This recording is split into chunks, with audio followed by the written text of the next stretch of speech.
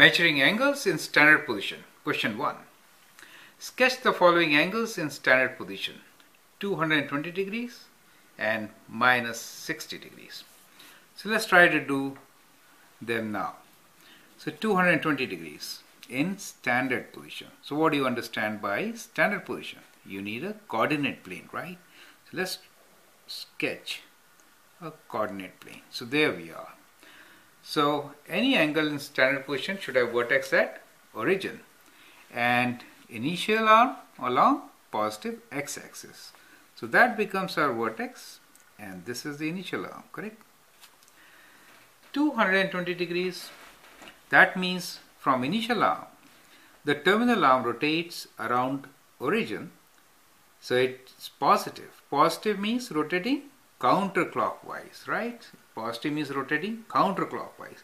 So it rotates counterclockwise and goes how much? 220 degrees. Now you know how much is 20 degrees. 220 degrees is more than 180 degrees. By how much? You say 220 minus 180 is 40 degrees more. Is it okay? So we are not using any protractor here. We're just trying to sketch approximately what it is. But our angles should be labeled to make sure that this is correct. So what we have is kind of here, right? That gives us around 220 degrees. How? From here to here it is 180 degrees, right? From here to here it is 180 degrees. This is 0. This is 90 degrees. And that's the origin O. 40 more. So from here we say it is 40. So 180 plus 40 is 180 degrees. So we are sure that this blue circle arc which we made is 220 degrees. So that is how we are going to sketch our angles in standard position. Okay. Now let's look into the next one which is minus 60 degrees in standard position. That means we'll make our coordinate plane and we get the origin first, right?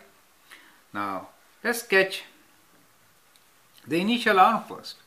So let this be my initial arm. It has to be along the positive x-axis.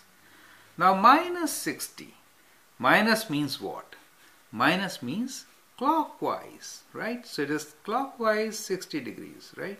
That seems to be 60 degrees. We are approximately sketching them, okay? We are not using any protractor for the time being. You can use one. So, so terminal arm happens to be here like this and we'll label it. Important thing here is to label and that is 60 degrees. Now since it is clockwise, I don't really have to write minus 60 here. It means, right? So we say clockwise implies negative angle. Is it okay? And this is positive, that means it is counterclockwise. So this question number one is basically to reconfirm with you the understanding of angles in standard position. So most important point here is that the vertex should be at origin O. Do you see both the places? Vertex is at origin O, right? And then we have an initial arm. So I'm writing here initial arm. Along positive x-axis. Do you see that? Initial arm is along positive x-axis. Now the terminal arm can be in any quadrant.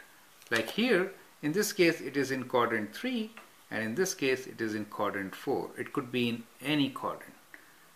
Now if you move counterclockwise, then the angle is measured as positive. Positive 220 means you have to go from positive x-axis about the circle 220 degrees counterclockwise.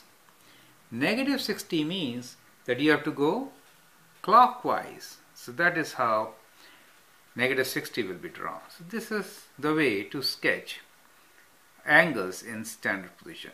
My recommendation to you is that when you do trigonometry, just sketch as I have shown. Don't bother about getting your protractor and accuracy, right? You'll be wasting a lot of important time there. So this is good enough sketch for our purpose. Okay, I hope you understand it. Thank you.